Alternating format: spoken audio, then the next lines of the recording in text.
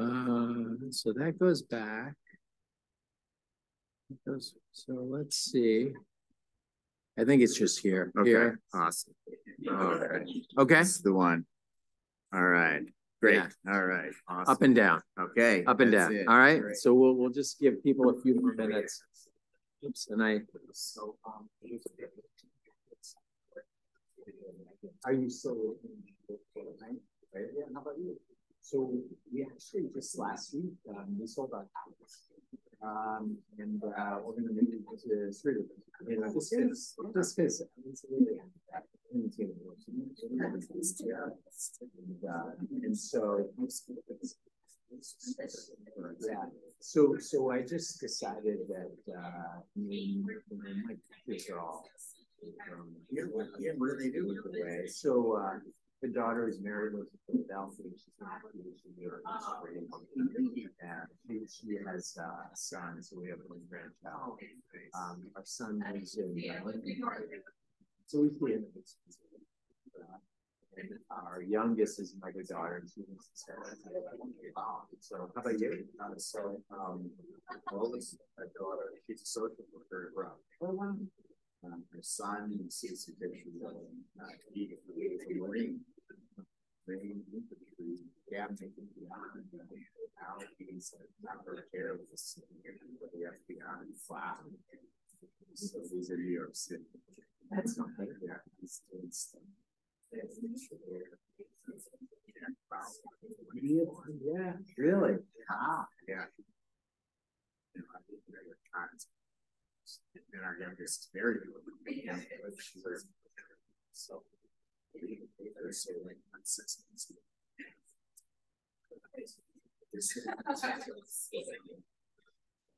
Um. Eric's fast times. And Dr. Slowly. First. Right, paragraph- right. First paragraph is. Gave her name. Spelled fear. Statement, version says. And so. The son just can't tell him, this guy just baby hands. They. they- it's hard to- Yeah. I mean, it's like, it's like, you know, it's like. It's like the movies. Yeah, yeah. Wow, so he's doing stuff like that. Oh, that's, that's great. Yeah. Yeah. Well, I, I have to say, I was, I've been a little sad about the whole, like, you know, song house. Um, but, uh, but I think, uh, you know, I think it's, it sort of makes sense. We, we had, we had bought a small, you know, in Streeterville, we were spending part of it. in the city, and so it sort of- it just makes sense. It's tough, yeah, we're, we're facing the same. Thirty years. No.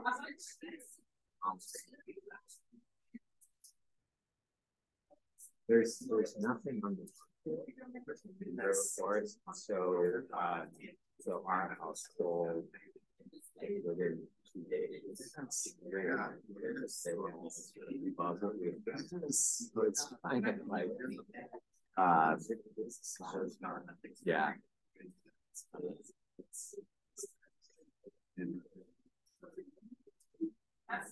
Yeah, here, let me introduce you.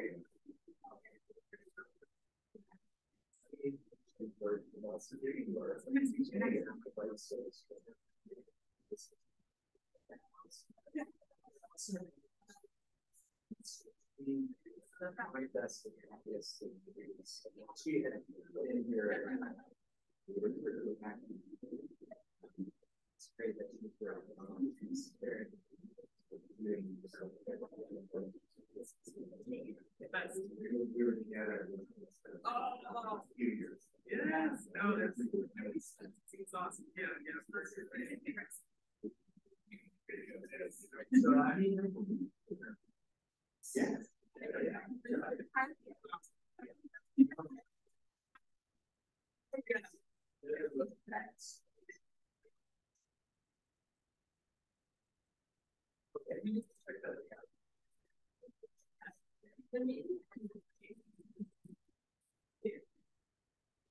13 8.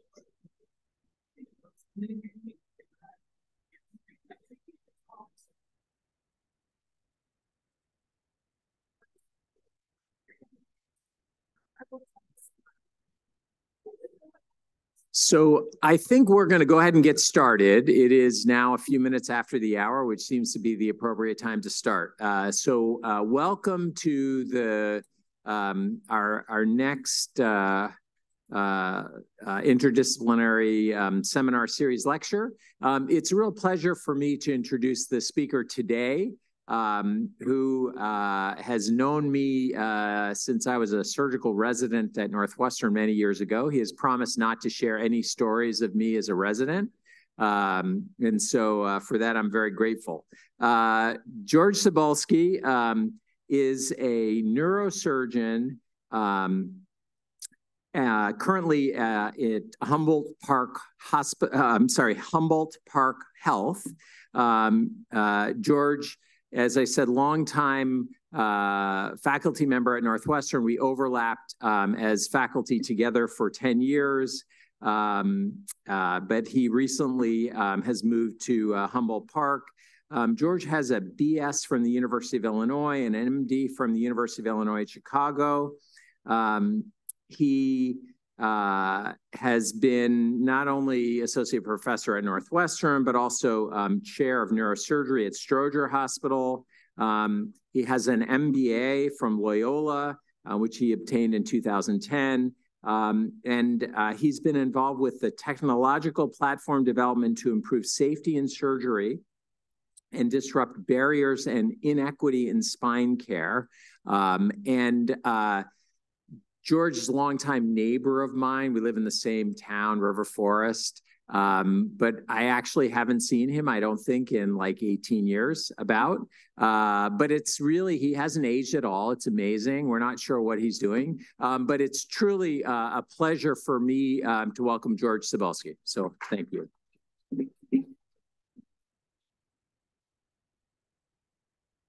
Thank you very much, Peter. And um, it is uh, a great privilege and a pleasure for me to be here. I have sat uh, in those seats uh, when I was at Northwestern. I would come down here for um, presentations, uh, which were always good. So um, I want to assure you that I worked uh, very, very hard uh, to put this together, and I hope I hope you enjoy it. Uh, congratulations, Peter, uh, to you and your success and to being the director of this uh, fantastic um, uh, center. Um, uh, I was behind you, even though you were behind me as a resident, I was a junior attending, I was behind you and really thinking about, even though I'd come here to hear some great talks, I was behind you and really kind of focusing on the ethical issues that we encounter in taking care of patients.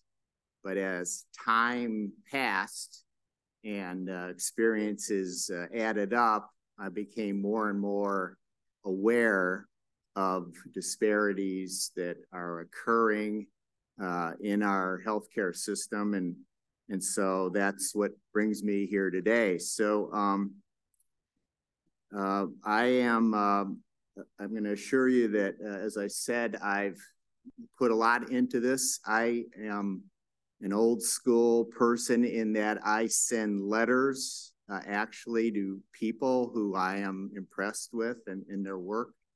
And I've received um, shocking letters back. And I'll, so uh, some of the people I'm going to reference today, you will know some of them. And after today, you will know them better uh, have responded. And um, these are people who are like-minded as ourselves and and are you know attempting to make the world a better place. And some of these people, um, well, one person I, I didn't receive a, ply, reply from was a first century um, rabbinical scholar um, uh, for obvious reasons, but um, uh, we're guided by his work. But I've received replies from uh, Nobel Prize winning economists, uh, Don uh, Berwick, who um, most people know as the uh, former director of, um, of um, uh, Medicare, CMS, the Center for Medicare and Medicaid Services, and started the um, Institute of, uh, for Health Improvement. I have a funny story about just talking with him last week about this what I'm going to do, and he has my slides. And uh, And then I'm going to talk about some United States Marines and um, and how they figure into this and and um, and share with you uh, my experiences uh, with them, which are very very personal. So um, we have a tough challenge um, in taking care of patients. And um, in 2019, I left Northwestern and had a couple years there where I was in uh, business and working on technological platforms and helped start a business to sterilize instruments uh, for the operating room. And that was all very interesting. But um, I missed taking care of patients because uh, the heart of you know those of us who are here you know whether we're doing it from the front lines or whether we're supporting or whether we're interested in the background of taking care of patients um, it it is something that's that's in us. And so um, fortunately i was able to um, return to uh, uh, clinical medicine uh, when one of my former fellows uh, called me up in uh, 2000, late 2020, uh, Daniel Ivankovich, and and he asked me if I was really retired, and I said, "Well, I, I, I guess kind of. I'm I'm doing some things." He said, "Well, come to Norwegian American Hospital, uh, which is in Humboldt Park and has since been rebranded as Humboldt Park Health. Come." Come and work with me and see some patients and let's do some spine cases together, which he was our spine fellow at Northwestern. And so um, it's been a really a great uh, blessing for me to return to see patients. I see patients every week. And, and in the interim, though, it, it became very apparent to me that um, it's really, even just with a hiatus of uh, maybe a year and a half in, from clinical medicine, the barriers that have that grew during that year and a half were astounding to me. And I'm talking about ordering an MRI for a patient uh, for, uh, of their spine, obviously. I'm talking about getting clearance for surgery. I'm talking about a lot of work that um, I'm at a small place. I don't have a lot of help that that I have to do in order to get people taken care of for their spine conditions. And I find it even more ironic because I used to be at Stroger Hospital, which is about five miles away, one of the biggest public hospitals uh, in the country. Right next door is uh, Rush Medical Center, a huge academic medical center. I've trained the head of that uh, Department of Neurosurgery. I've trained uh, some of the fellows when I was at Stroger, and you know they'll they'll do me a favor and get my patients in there for complex things, but but and so that's you know that's helpful obviously for me to break down some of these barriers, but when it comes to um, Aetna and and Cigna and Illinois uh, Blue Cross and Blue Shield managing Medicaid, which I don't know how that happened all of a sudden. Um, it's been a struggle. And so it really emphasized uh, for me the ethical barriers that now exist in taking care of patients at the area that is surrounding us here in Chicago.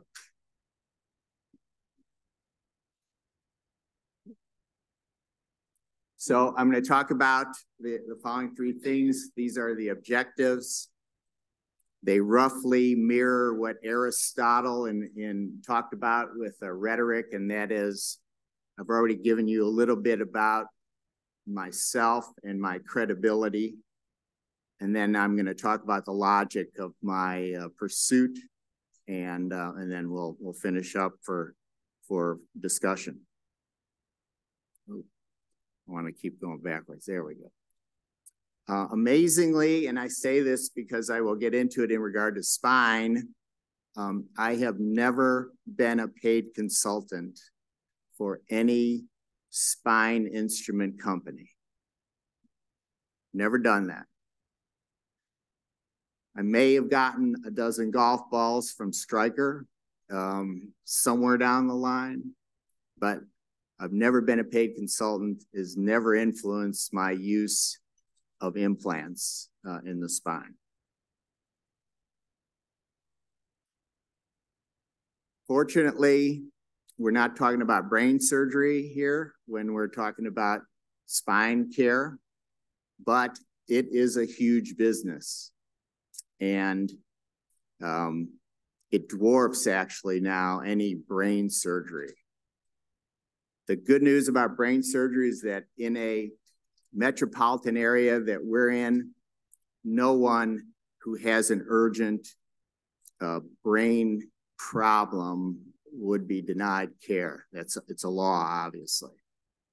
For spine, that's a whole different um, thing, and it involves really some loosening, in my opinion, of the morality of taking care of patients.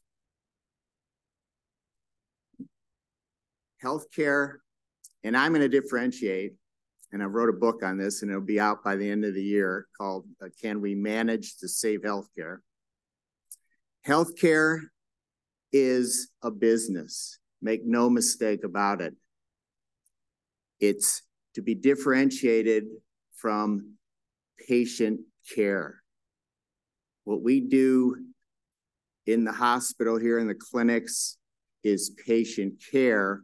All the rest of it, maintaining this lovely auditorium, the buildings, parking, um, on and on and on, the implants, et cetera, that's all business. And it's exceedingly complicated. It makes our work uh, uh, very complicated.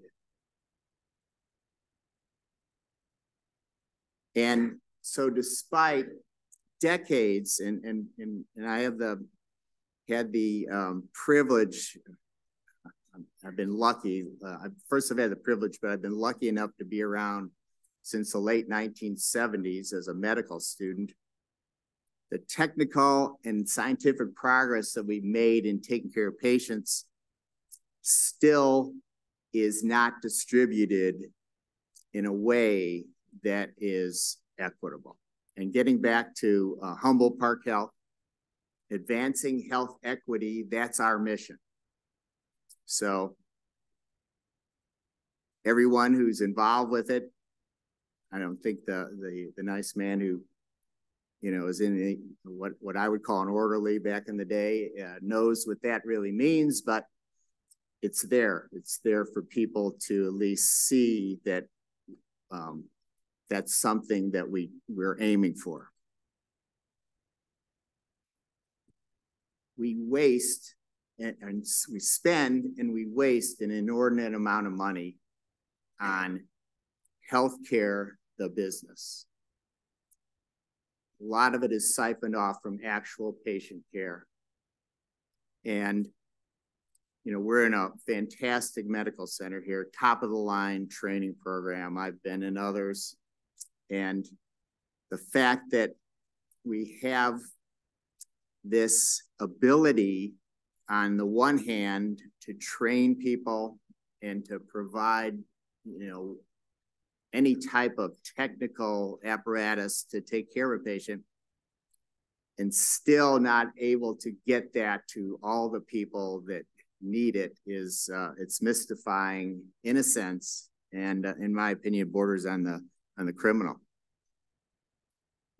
It talks about what we value as a society, and unfortunately, ethical lapses um, punctuate the delivery of healthcare because of what we value, and I'll get uh, to more of that in a minute. And so if in thinking about today, if we wanted to uh, think about an ethical dilemma of healthcare of the greatest magnitude, we need look no further than do we uniformly provide access to safe, high quality health care, patient care, that is, across our region and across the country. We're part of this system. So this dilemma rests also solely with us. Not solely, it also rests with us. Um, as I said, uh, I, will not hesitate to uh, fax uh, uh information uh, to an insurance company in order to get a patient's surgery approved. I mean, if that's what I need to do, that's what I do. But um, it's way beyond that. Um, these reviews that occur uh, to get an MRI to get or to get a patient reviewed is is is really and even yesterday in my clinic, a patient could not get uh, Norco 10 post-op patient, Norco 10 milligrams because he was in some Medicaid managed care plan where they only approve five milligrams. So the uh, prescription that I authored for him had to be uh, uh, purged and we had to go to five milligrams and they told me how many I could um, uh, prescribe. And, um, you know, it's just, it's just, to me, it's criminal that um, there's that degree of oversight in a relationship that they have no idea um, I have with this patient. And uh, it's just differential accountability and, and really the accountability rests with us ultimately in taking care of a patient, but um, we have to make do sometimes, as I said, with what is uh, allowed by particular insurance plans. So uh, Thomas Paine, um, you know, to be frank here, um, toleration is not the opposite of intoleration, but it's the counterfeit of it. Both are despot despotisms. It really is that significant. Compromising patient care based on the mechanics of the system of, of finance.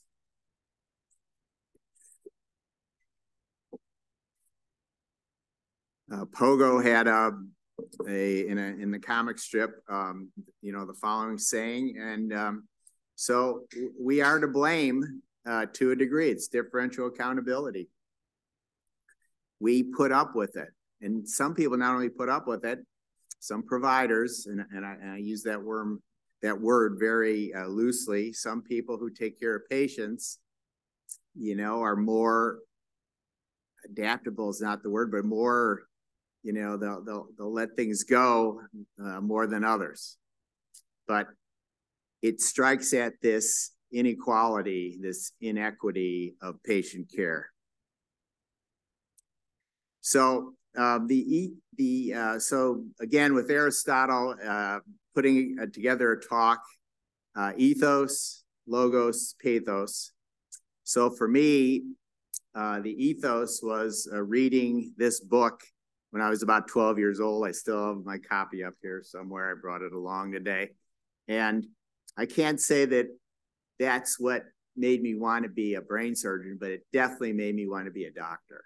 And and that's what separates us from the other branches of of support that are in this business of healthcare. Yet we're under fire. And so I got an MBA a few years ago because I wanted to understand what was going on with the, the, the finances and the economics and the um, uh,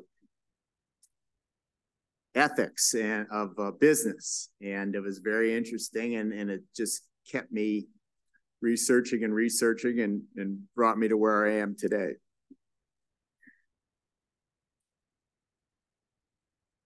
This inequity of patient care, it's not just for spine care. It occurs every day with countless other types of illnesses that are confronted or not confronted or not um, directed to where they need to be managed uh, best. So the story goes that um, Rabbi Hillel was asked, uh, what is the, uh, so there was a man and he asked two rabbis, uh, another rabbi and Rabbi Hillel, if he could convert to Judaism. And the man said, I, and I'm paraphrasing, but uh, you know, I want to, I want to, you know, I want to understand it in the quickest way possible. And so the other rabbi, beside Rabbi Hillel, said, uh, "This is going to take you years. You know, you're you're not gonna you're not gonna be able to to do this." So Rabbi Hillel, as the story goes, said, um, "Here's what it is: that which is hateful to you, do not do to your fellow." He said, "All the rest is commentary.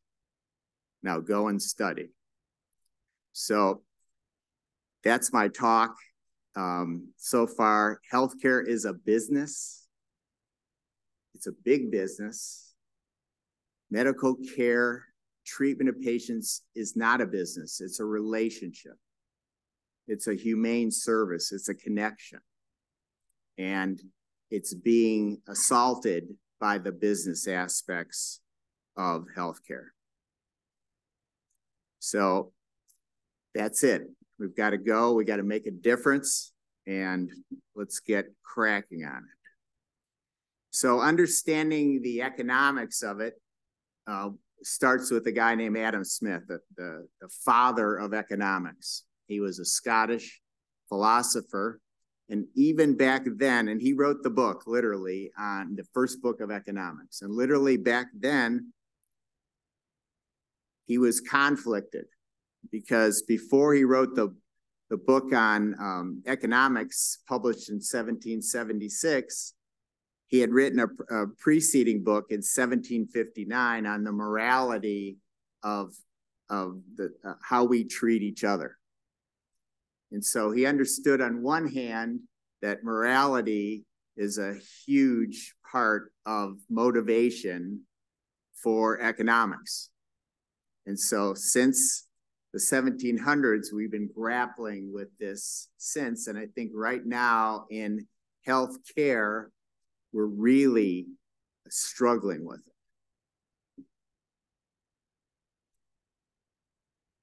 Adam Smith is famous for the invisible hand, the motivation, these virtues and ethics and things that um, we utilize when we interact with others we emphasize that in our training in the healing arts.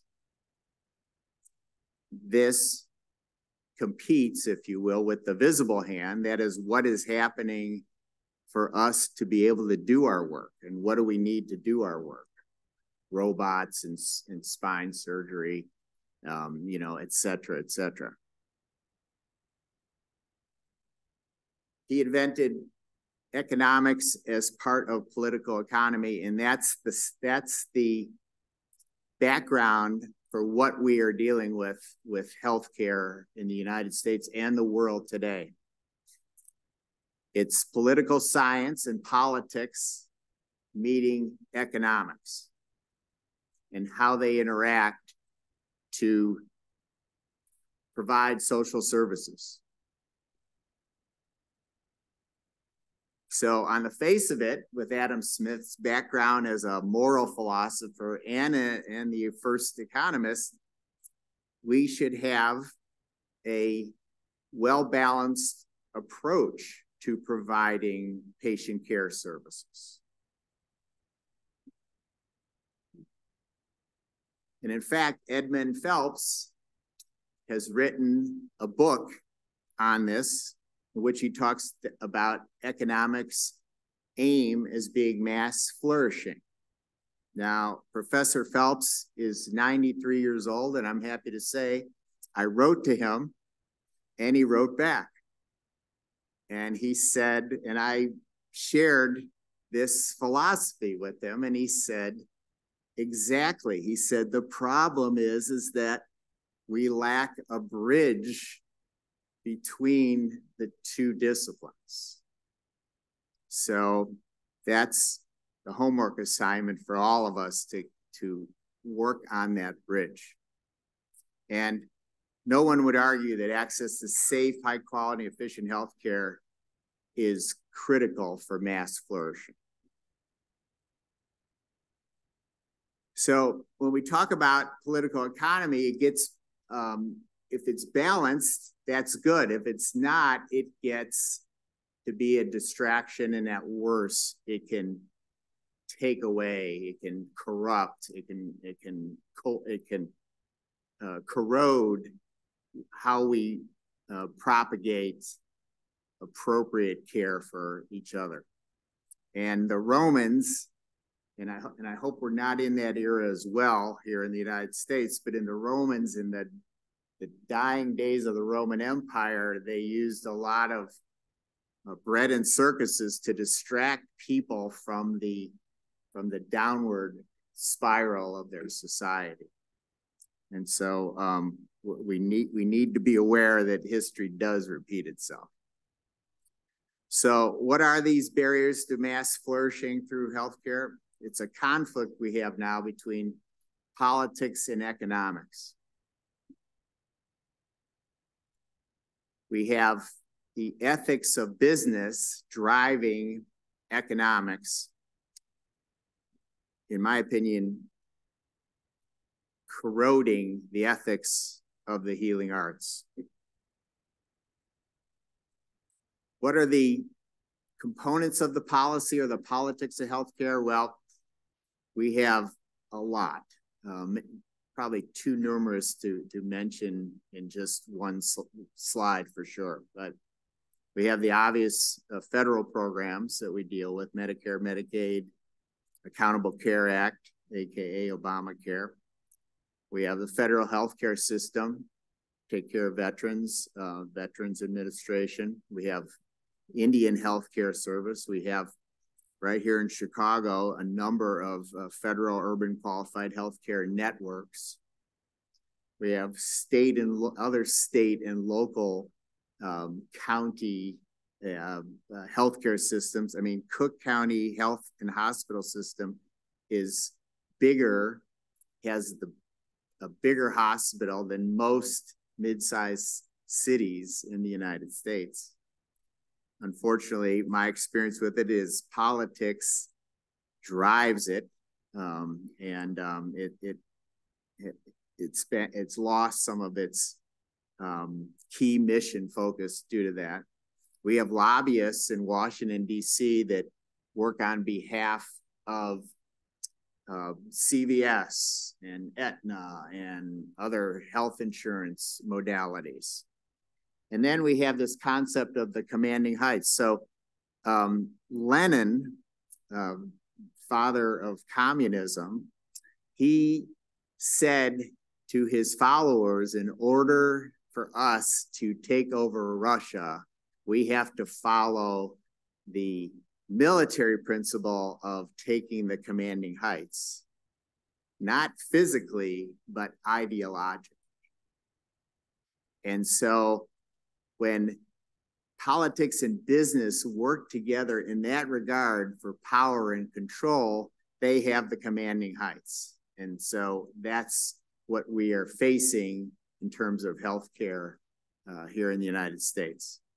And then there's an excellent book called Kleptopia that I just read about the oligarchs that were spawned uh, by the collapse of the Russian, uh, the USSR, which also uses that same principle. For supply, right where we are now, clinics, freestanding surgery centers, freestanding MRI uh, facilities, medical schools, academic medical centers, training providers, nursing and allied uh, healthcare professional training. And then we have the other middlemen, like now is Medicare Advantage season. So, um, you know, you're watching the World Series um, last night, and there you go. You're bombarded with Medicaid, Medicare Advantage uh, programs to sign up for. I guess they think most old people, such as myself, are still watching the World Series, although the they, they said it was only watched by 9 million people last night where it used to be watched by, you know, 100 million. So it's a, it's a, a real change as well in our culture.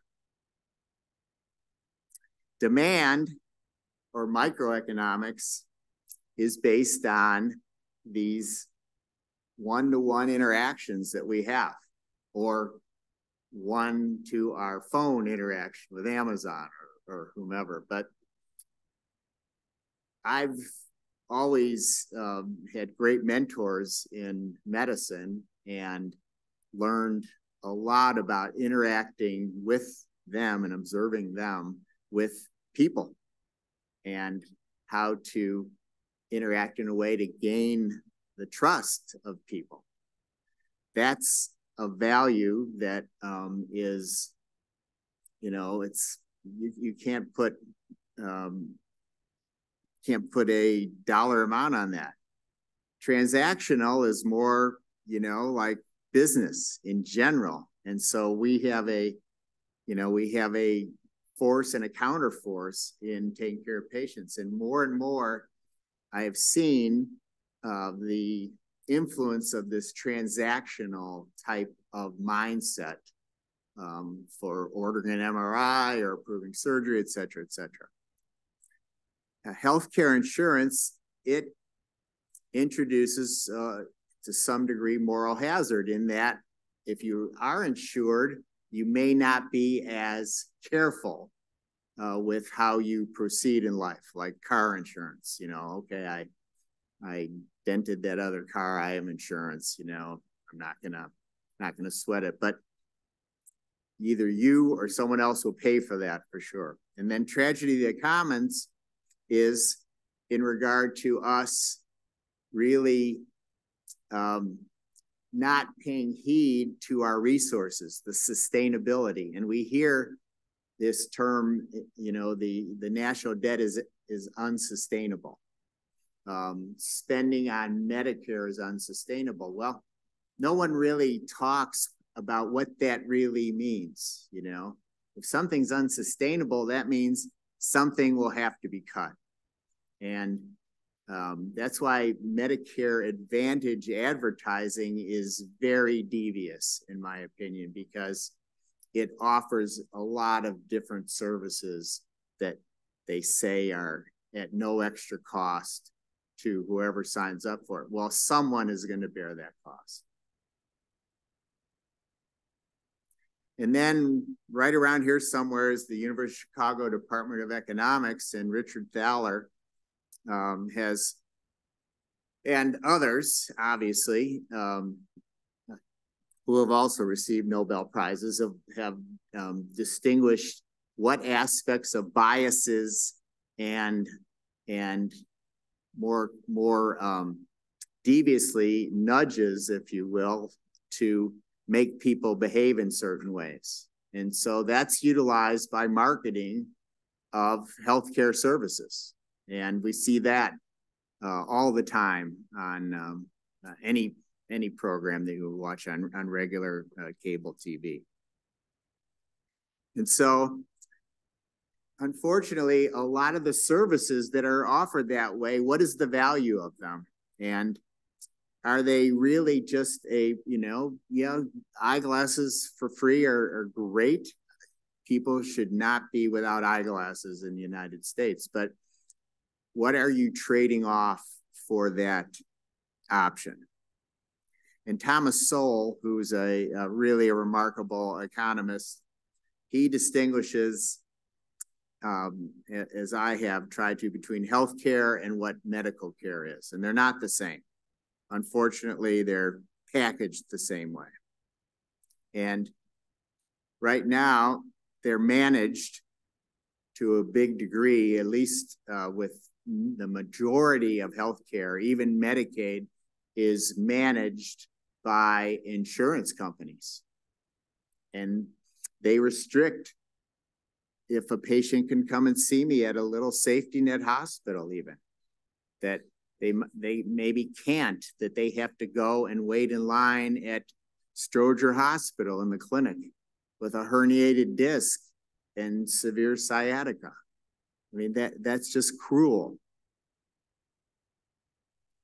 And Henry Aaron, um, I haven't written to him recently, but I have written to him because, um, about twenty some years ago, I took care of his mother at Northwestern and, uh, touched base with him about, he's, he's retired and I touched base with him about Medicare and some questions about its sustainability. And he has studied it his entire career, like 50 years. And he, he basically, I'm quoting him from a, a paper, but he basically said the same thing to me that it, there's so many factors that detract from the actual care of patients. And I said, what's the solution? He said, after 50 years, I have no solution. I'm not going to be dismayed though. We, we can come up with a solution. Uh, Uwe Reinhardt, um, an amazing scholar, he looked at cost as well and, um, and demonstrated that we, we have a lot of waste in our healthcare system. When it comes to spine care, more is less. These are a number of the specialties that are involved with treatment of spinal disorders. Most spinal disorders do not need to be treated actively. That is, they do not need injections. They do not need um, anything more than maybe a short course of medication. They need a change in lifestyle and and and, and really a analysis of of the factors that are causing it in each person. That involves speaking to the actual patient and taking that time to figure out what is going on in their life. Sowell um, pointed out, as I am, that when you have neurosurgeons and orthopedic surgeons seeing people for degenerative disc disease. And the only thing you have is a hammer, well, that's going to look like a nail to them. And they're going to want to do surgery, replace discs, put in a lot of metal into the spine, fuse the spine, um, I'm operating on a, a nice lady um, who has not been able to uh, get care elsewhere because she had in 15 years ago, I'm operating on her in two weeks. 15 years ago, she had a, I don't know why, but she had a instrumented fusion. We have five lumbar vertebrae for the non-spine surgeons here from L3 down to her sacrum fused that whole part of her spine. So she could only move at L2, 3. And uh, she is in severe pain because that's the only segment of her spine where she could move. And she has built up degenerative thickening of a ligament that's squeezing her nerve roots. And because she's had previous surgery, there, and it's a Medicare patient. Um, she's been seen and told to do some ridiculous things that would not give her more room. So um, I take care of patients like that, and I'm going to do a simple laminectomy above the level of that fusion to make more room for her nerve roots. And she's 76 years old. We don't need to, to do an extension of her fusion or anything like that. So now we're seeing the results of these increased fusions that um, have come about due to the perverse economic incentives for spine surgeons. We need to think about in every patient, the value equation should involve risk and and analysis of conventional thinking like every person with degenerative spine disease needs a fusion that that and what is the risk of that? And now we need to recognize the inertia that's been created by these uh, bureaucracies of government and uh, insurance companies. It involves this concept of entrenchment and it's driven by economic um, uh, factors that are influencing the decisions that are being made. And the tragedy is that it's, we continue to pay for things that we probably don't need to pay for. We don't need to even do is what I'm trying to, what I should say. That was inartful. Not everyone needs a fusion for degenerative discs in their spine. And it's this inequity is a result of this struggle and the inability to change.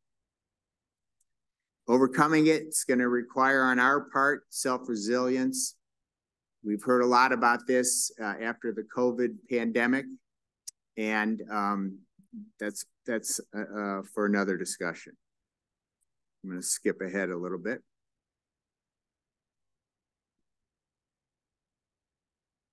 So while Medicare, medical care has been called an art to which uh, science is applied, is it's foremost an ideal. It's a humanistic pursuit to comfort first and foremost, give people information, and help them to understand what why they're having pain, especially in regard to the spine. Uh, Dr. Peabody, uh, anyone familiar with this paper? Yeah. This is a classic paper everyone should read here. So Dr. Peabody, that's his famous saying, and he was giving this paper knowing that he had inoperable cancer. And he died a few months later, but he devoted his whole career to this aspect. And it's it's a great read. It's a classic. It's reprinted in JAMA um, many other places. You can get it for free. You don't have to uh, be hostage uh, to PubMed or or uh, or you know one of the other services that want to charge you fifty one dollars for a three page paper.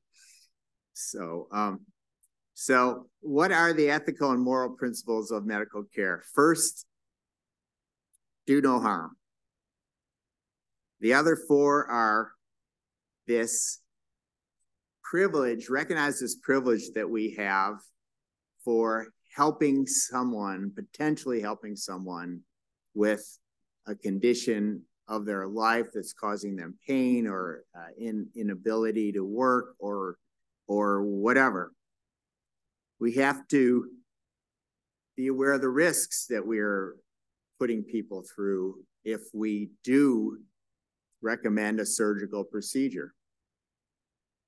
And we have to remove ourselves as much as possible when we do recommend treatment, that we are not recommending a fusion because I'm paid by um, Zimmer Biomet as a consultant to use their pedicle screws for fusing their degenerative condition of the spine. And justice, that's that's the most difficult um, uh, virtue, in my opinion, to uh, be aware of. So what about the diagnosis and treatment for spinal conditions at last? As part of this trillion dollar industry for healthcare, instrumentation of the spine is a ever growing, every year growing part of these expenditures. And the majority of the instrumentation of the spine. And why is instrumentation of the spine done when for this patient, I'm just going to do a simple laminectomy? You can charge more money for the procedure by adding a fusion to it. And as more and more businesses get involved with this, that's where the decision-making process becomes corroded on the part of, of the relationship we have with the patient. It muddies these ethical waters for sure. And it makes taking care of patients more a transactional rather than a relational uh, encounter. It's all about economic self-interest and the invisible hand made visible by by doing something. So um, two weeks or last week, last Tuesday, it was uh, 80 degrees. And uh, full disclosure, I was um, I usually have clinic on Tuesdays, but for last Tuesday, I had um, I had something I was supposed to do, and it was canceled, and I was on the golf course. So um, I had written uh, Dr. Berwick, and this is the other paper that you must read. This was in JAMA very recently. And Salve Lucrum was in his lead paragraph. This is an awesome paper. Salve Lucrum uh, uh, is a Latin phrase that means hail profit. And he put he uh, points out that ironically, that phrase was in a mosaic floor at uh, uh, Pompeii. And so it was below like 16 feet of volcanic ash. So here was a, in an atrium of a, of a beautiful building. So, um, and he goes on to talk about um, really the amount of money that is expended on Medicare Advantage and the amount of money that's expended on excess unneeded surgery, et cetera, et cetera. So it, it's an awesome paper. So I'm on the golf course and um, I get a call and it says Don Berwick. So, so I say, Dr. Berwick, and he goes, oh, Dr. Cybulski, he goes, thank you for your letter. Um, you know, I wish you well on giving your talk. Um, he said, you know, give, give them hell, uh, you know, uh, because he said, we need to enliven ourselves with the conflicts that are just eroding how we take care of patients and therefore why patients don't trust us as much as they have in the past. So that it was fun and and um, so he he's uh, an amazing guy and uh, it was a fun uh, interaction to have with him. And so the inequity of surgical specialty care involves all of these components.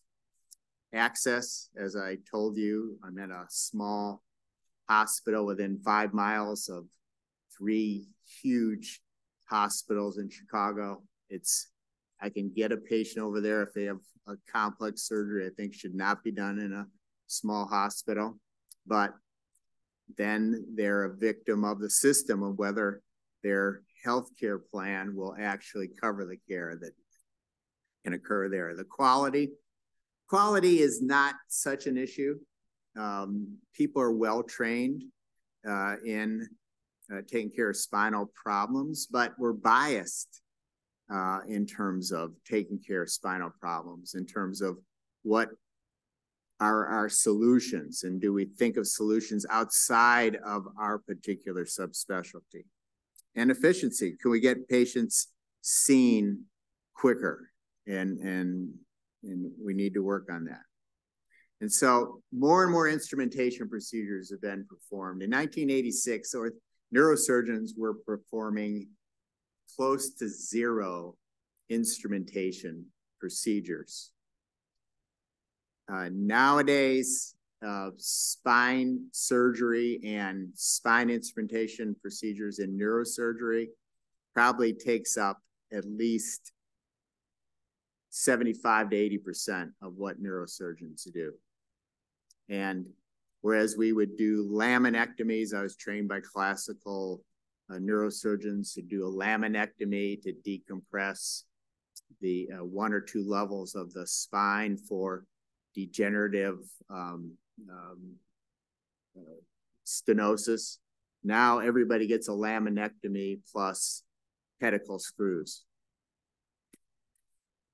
They'll get that, and some of them will then get also a, that's from the back, and then turn them over onto their back and go through the front and put in cages to open up the disk space.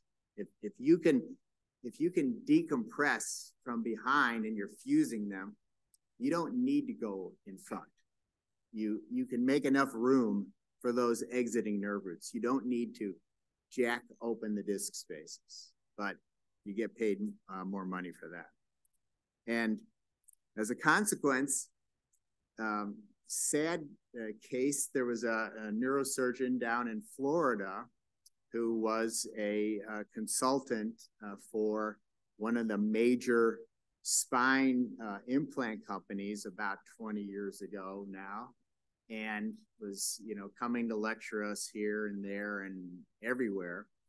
And he he was making so much money he had his own jet uh, but tragically he crashed it flying to the spine uh, headquarters where he was going to have some meeting or do some consulting or whatever. And and then we have other uh, uh, neurosurgeons who have invented, you know, some little um, piece that goes with a Medtronic uh, spine fusion tray, and he gets paid seventeen million dollars. And um, and um, goes on to uh, bigger and better things.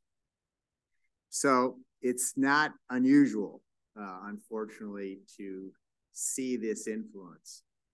So I, I was trained by some some great neurosurgeons, and, and they would have in the classic people that they knew as well. And and one of them, um, and, and this is obviously stuck with me, is a spine surgeon must be a mind surgeon. We must look at and talk to the patient, find out what their expectations are, and tailor, customize our care to them. And unfortunately, that's getting lost in this shuffle for putting in instrumentation. Um, Dr. Thaler uh, of uh, the book Nudge would I think, endorse that as a, as a good nudge. So um, I'm always looking for ways to increase value. And um, in the Wall Street Journal, three years ago now, I saw this article. So this is Virgil Carter. Virgil Carter was my boyhood hero. He was the quarterback for the Chicago Bears. Back then, so this is in the um, early 70s. Back then, to be a pro football player, you used to have to have a side gig, and you know some of the, most of them were salesmen. But Virgil Carter was a very smart guy. He got his MBA while he's playing for the Bears from Northwestern, and right here, he's using one of the few computers that uh, was uh, in action at that time, and that's his wife. And he took the plays from and every in every football team, and I've been on the sidelines as a as a Bears neurosurgeon. There's a there's a person who is the quality control coach who charts every play. 20 yard line, run, gain 2.5 yards. They chart every play.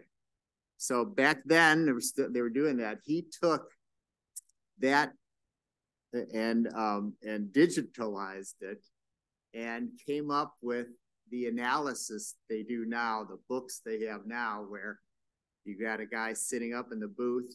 It's third down on the Bears 10 yard line. What's the, you know, it's not a book anymore, but, you know, back then what, what does the book say? What what's the best play? And you know, then you call it in right away. You know, run off, off the right side with uh, with Gale Sayers. You know, that was a high percentage. So anyway, he did that. He's the father of NFL analytics. He's also the father, if you will, of um, he went into the insurance industry after this and looked at um, you know lifespan of people and you know, and if they had, you know, some interaction or some illness, what would happen to them? So at any rate, I saw this article and I Googled him. He lives in uh, Claremont, California. And I wrote him a letter. And I said, uh, Dear Mr. Carter, I've been a fan of yours since, you know, the early 70s. And I'm interested in expected value for if I tell Mrs. Smith that we're going to do a three level laminectomy, I'd like to tell her more than, you know, well, doctor, you know, she asked me, you know, what's the percentage of success? Uh, you know, and, and I have to say, well, I've done a thousand of these and, you know, blah, blah, blah. But I want to be able to have these measures so we can tell people, you know, that if you have a fusion, whatever. So, um, long story, or it is a long story, but shorter uh, Virgil called me and um, we had a great conversation about this. He thought it was an awesome idea, but he but he said, Doc, he said you've got to get data from the insurance companies. I'm still waiting. still waiting. So back then you could get, you know, data a lot easier than you can now. But um, awesome man, and um, just just fun, you know, to interact with people who think outside the box and and create value. So it takes you know all of us to you know come up with these ideas and come up with this interest for how we can how we can create actual value for patients. And for me, it's thinking about how I can optimize um, my decision making for my patients, you know, in this little hospital on the on the west side of Chicago. Who knows? Who knows where that'll lead? We have to always bear in mind. I'm all, as I said, a spine surgeon. Uh, it must be a mind surgeon. We have to know what the patient's expectations are, and we can develop, you know, based on that, some technology, which I'm also working on to to improve uh, safety of patient care in the operating room. Future challenges. I think um, uh, AI will help us uh, in this respect. It will, will allow us to create a frequency distribution for what happens when we do, you know, uh, parathyroid surgery on, you know, different different age groups. But we can, you know, we, we have to somehow also factor in. That's why I think AI will be helpful, but we'll still need the interaction. We'll need the, you know, the, the, the smart people that we are to translate that for our patients and help them with their decisions. AMA's code of ethics, we alluded to a little bit of that. So I'm going to wind this down now. So um, told you I would talk about the Marines. And uh, fortunately, uh, my son and, and my son-in-law are both Marines. Uh, my son, um, this was back in uh, 2012. He had just graduated from officer basic school of the Marine Corps. And um, he's 22, 23 years old at that time. And their training is such, he's going to become the boss of 40 Marine infantrymen. And the training is such that the Marines have no problems. And the, the structure of their organization, they have no problems. You know, his sergeant was 38 years old. And uh, when he was assigned to his platoon. And they deployed, and I, and I may become a little emotional about this, but they deployed and um, for nine months, and um, they saw some action, and um, and then uh, he came back. Excuse me. And um, I asked the sergeant, um, you know, how did it go with with uh, Eric? And he said, oh, the lieutenant he's a great guy. He goes, um, he would said I, I was always concerned that he wasn't getting enough sleep. And um, you know, he would he would sleep one or two hours a night, always looking at after his guys and all that. And, and I said, well, that that sounds like internship, right? Right, Peter? sleep one or two hours a night, but but uh, no one was trying to kill us that I know of at, at that time. But um, so um, the Marines, you know, they have something, and, and fortunately, it's been written up by Simon Sinek. So for us to have the benefit, we have to learn so much in terms of, of patient care that I think we get slighted on the leadership uh, part of it. And it's taken me all these years and reading so many books, and, and Peter, I know you're the same way, um, that we finally, you know, get you know, a, a con, you know, we get a feel for what leadership is. But the, but I reckon I, I recommend that book. And and uh, and Professor Carse talks about um, um, he's a, he's a, an amazing guy. Uh, he talked about finite and infinite games.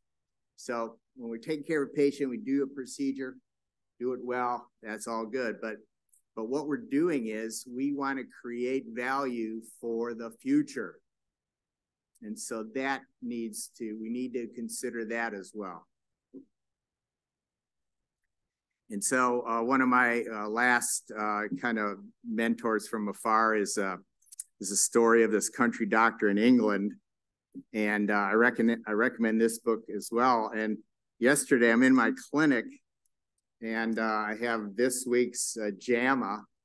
And um, I'm happy to say that um, was written up about a fortunate woman. So a follow up uh, of this doctor's practice in England and and his um, his credo, which she which she follows. And um, so we all have a privilege here to to do so much. Um, it's hard because the work is hard. Um, the sacrifice is great, but um, you know, uh, let's take um, inspiration from the Marines and and uh, a fortunate man and woman, and um, continue to create value uh, for our patients. Thank you.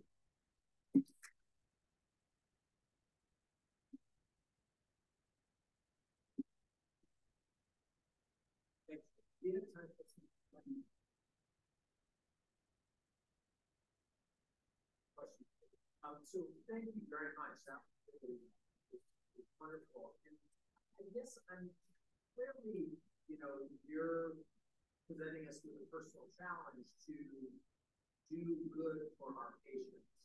Um, and, and, ultimately, I mean, I think that's where it ultimately what it comes down to. Is there is there some other uh, set of economic incentives or regulatory oversight that can push us to do the right thing. Because, you know, you mentioned at the beginning, you know, you want to get an MRI, but you've got to go through multiple to get it done. In theory, that's designed to prevent low quality care, low value care. But it does seem as though these are often roadblocks. And the ultimate question is, you know, is someone going to be recommended an operation or not? And often that doesn't have a lot of Absolutely. So, so Uwe Reinhardt talked about costs. So that, so that's what we're talking about. What, what we're interested in here is ethics of of recommending something and the cost of it, not only in terms of dollars, but in terms of resources and the tragedy of the commons. You know, we sustainability. And so that's where, uh, Peter, you know, your center here, um, you know, writing papers that are, that get into health economics, you know, they get into other journals that force the issue. And, you know, I'd obviously be happy to, to collaborate uh, with anyone who would would want to do that. But we focus, uh, so I've been to uh, Mike Porter's uh, course, the famous Harvard professor, brilliant man, made his uh, uh, uh, way to fame with five forces of strategy. But um, but kind of, I've been, I'm, I'm, reverse engineering. He's like forward engineer. He and he is an engineer, so this is how they work. So then he said, you know, I've conquered strategy. I'm going to conquer healthcare. So he and and his associate write a book that's this that on redefining healthcare value or redefining healthcare, and it is slow going. And and um, you know, I'm, I'm trying. I mean, hey, it's, it's just my assessment as a, as a practitioner, and, and I've had this discussion with them when you attend the course. You know, you get to eat dinner with them and all this stuff, but they're missing the point. The point is, is and you know, and, and thank you all for your your attention. The point is, is that the, value of what we do in terms of interaction and and value of decision making is really what no one else can take away from us. That that keeps me faxing stuff to whoever because I know this patient needs an operation, you know. But it doesn't have to be that way. And so I don't know, health economics or whomever, where we talk about the value of decision making or uh, decision making under stress and uncertainty, which is surgery, you know, and any, uh, you know, and ICU and and ER and all this. We don't get enough. Um, we don't get that message out there.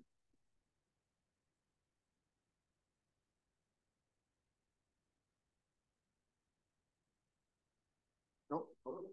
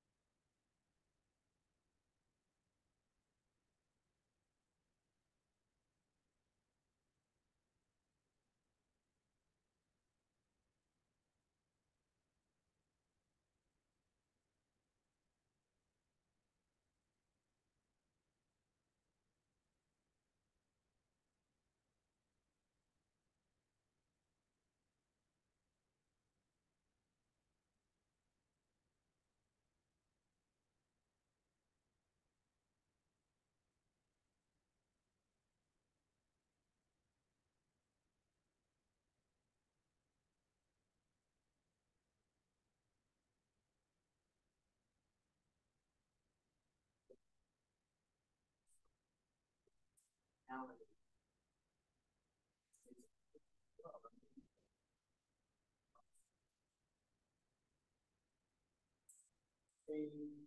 issues, same ethical issues, and that is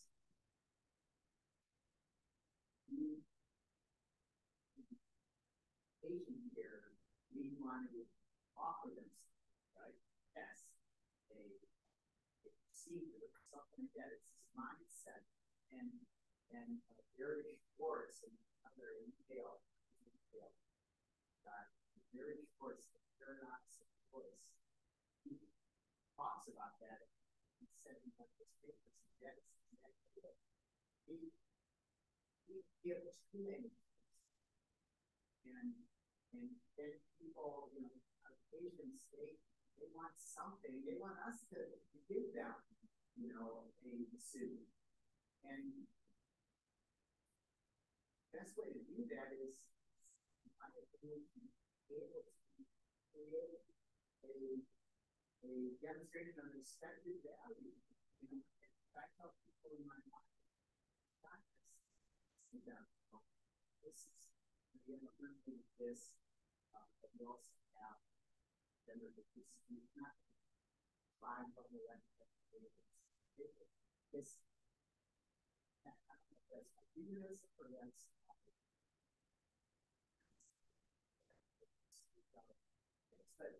so yes, we're, we're up against this as society, and that's the top soul that think that have. politicians offer everything. And whether that's,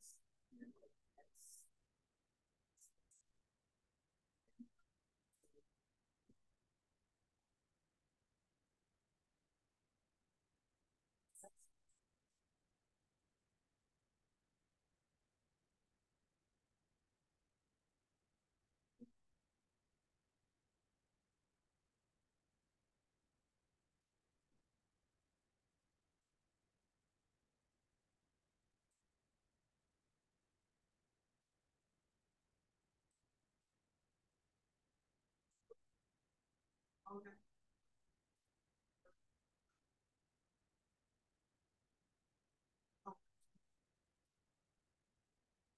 Which means entities don't necessarily have.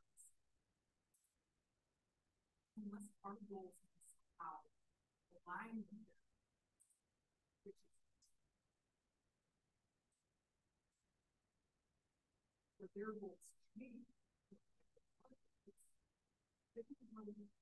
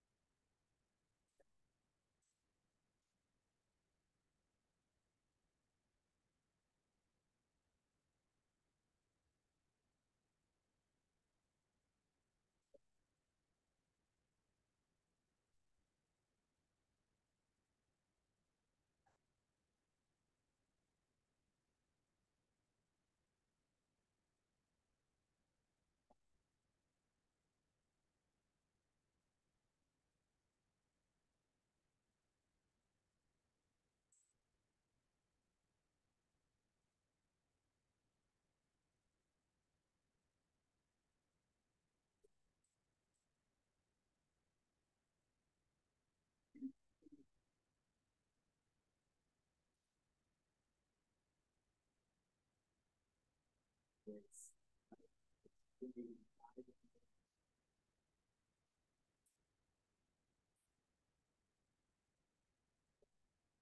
it takes efforts, um, center like this. That focus on what's best for the patient. And finding the best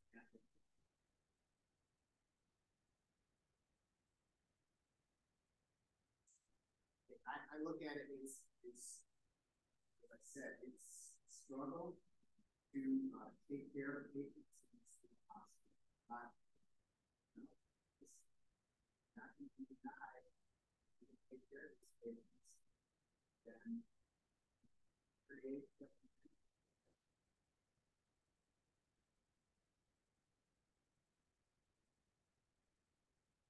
Thank you very much, uh, for listening.